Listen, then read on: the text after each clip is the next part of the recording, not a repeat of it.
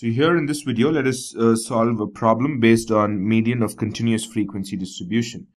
So what's different in this problem is that, okay, let's first take a look at the problem.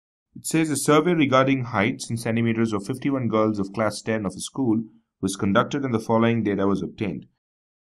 Height less than 140 centimeters, it was 4 girls, less than 145, 11, less than 150, 29 and so on. Here it's not grouped frequency distribution of any sort. It is it is kind of grouped, but it is mainly cumulative, right?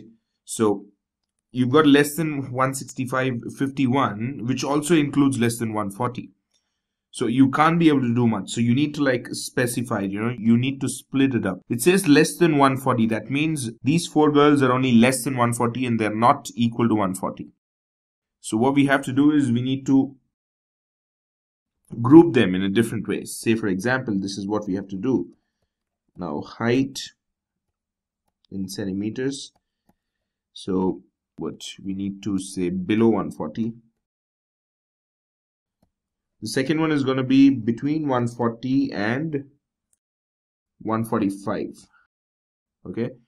There may be girls who measure 140, but nobody would be 145. The greater limit in this group is 144 nobody measures 145 so here it starts from 145 it goes up to 150 but nobody goes to 150 it is in between 145 and 150 it is 145 is included but 150 is not. It stops at 149 then we have 150 to 155 and 155 to 160 and then 160 to 165 and then now the number of girls you know it will be called as a frequency in this case now. This will be 4 no doubt but will it be 11 next? No it won't be 11 next because it has to be 11 minus 4 only 7 of them. If out of 11 4 of them are less than 140 then only 7 of them are going to be more than 140 and less than 145 right? So you need to go reverse way now you know in the previous problems we used to find. Now this is the cumulative frequency which is mentioned here. So we need to find the frequency. So we need to subtract. 29 minus 11 is 18 40 minus 29 is 11 46 minus 40 is 6 51 minus 46 is 5 so this is the frequency. And then we get cumulative frequency cf so cumulative frequency will be the same as this. 4 11 29 40 46 and 51 so now it is as usual. The problem is back to the normal stuff. So the so the most important thing in this problem was to get back the data. You know, write the data in a normal way. It was given in a little different way. So we need to get that to the normal way. And then, you know, we can start solving it. So here it is very clear. We've got n equals uh, 51.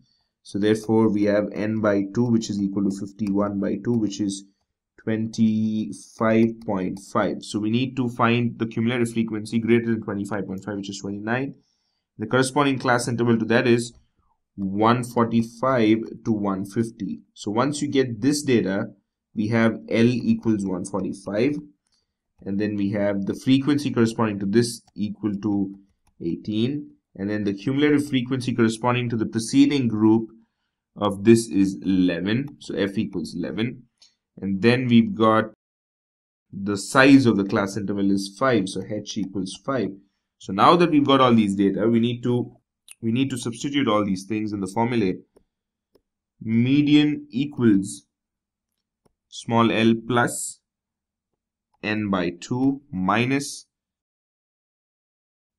capital F which is the cumulative frequency divided by small f times h.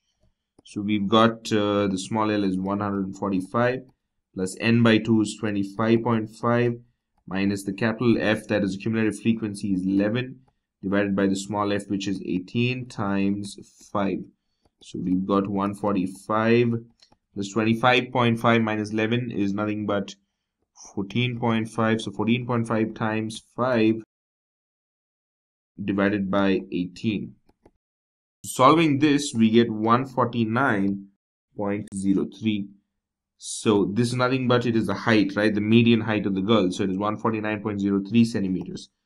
Therefore, the median height of the 51 girls in class 10 is found to be 149.03 centimeters.